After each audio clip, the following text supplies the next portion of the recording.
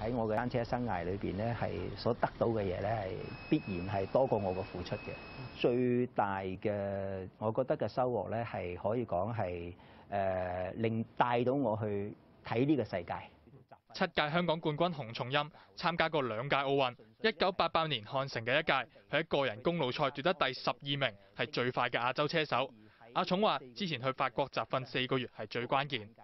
嗰個眼界嘅視野咧，係即係將自己咧係擴闊咗好多，即係知道一啲誒世界級嘅選手佢哋點樣比賽啦，誒佢哋技術點樣去掌握啦，佢哋誒每一隊嘅車隊嘅支援嘅情況係點啦。樂於同後輩分享經驗，九七年嘅上海全運會，洪松蔭更加負責引開對手，掩護黃金寶奪得公路賽金牌。因為嗰日係落雨嘅，嗯我炒咗四次車。左右手都遍體鱗傷遍體鱗傷啦。我就一衝咗線之後咧，我就上咗架十字車。咁嗰架十字車咧，啱啱有個窗咧，就啱啱有個窗簾咧，我就掹開咗。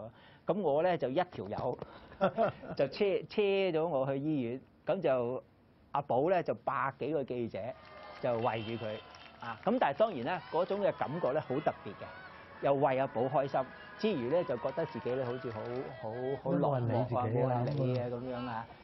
惺惺相惜，黃金寶一直視洪松蔭為偶像，但係兩個年代嘅冠軍又邊有得比呢？我哋做過啲誒、呃、運動測試啊，咁咧佢嗰個心肺功能咧比我強好多嘅。如果係真係可以同期同年紀，咁我相信咧誒、呃，可能對大家嚟講咧都有個好處嘅。咁因為誒有競爭先至有進步啊嘛。唔理媽媽反對去追夢，為咗遷就練習同比賽，洪松蔭曾經喺七年內做過五十幾份工。任人奚落都毫無怨言。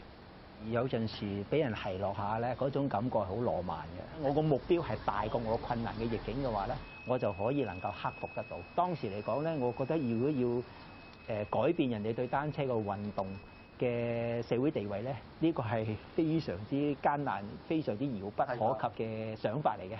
咁就係因為咁樣，所以我就有一個好大嘅動力。有線電視記者姜家賢報道。手掌握有线新闻。